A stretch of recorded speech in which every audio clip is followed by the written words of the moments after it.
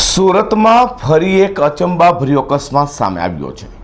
ભૂલ કોઈની અને ભોગવવું કોઈને પડ્યું હોય તેવા અકસ્માતની ઘટના બની છે. ભટા વિસ્તારમાં ટેમ્પા ચાલકે અચાનક ટર્ન લઈ લેતા એક પછી એક એમ મોટર કાર અથડાઈ હતી. તદનસીબે અકસ્માતમાં કોઈ ઈજા કે જાનહાની થવા પામી નથી. સુરતના ઉધના મગદલા રોડ ઉપર નવજીવન સર્કલ તરફથી બ્રેડ લાઇનર સર્કલ બાજુએ જતી વખતે ભટાર ચાર રસ્તા ખાતે બ્રિજ પહેલા અકસ્માત સર્જાયો હતો.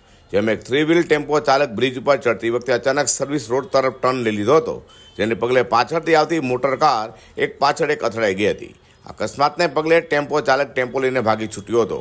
અકસ્માતમાં ટેમ્પો પાછળ વેગેનાર, તેની પાછળ વર્ના કાર તેમજ ઇનોવા સ્થિતની મોટર કાર અથડાઈ હતી, જેમાં વેરના કારના બે બલૂન ખુલી ગયા હતા, જો કે અકસ્માત કોઈની ઈજા થઈ ન હતી, પરંતુ કારોને ભારે નુકસાન થયું હતું. ઘટનાને પગલે ખટોદરા પોલીસે ઘટના સ્થળે દોડી આવી હતી અને બ્રિજ પર સર્જેલા ટ્રાફિકને દૂર કર્યો હતો. અઝર કુર્સી સાથે હર્ષદ સેટા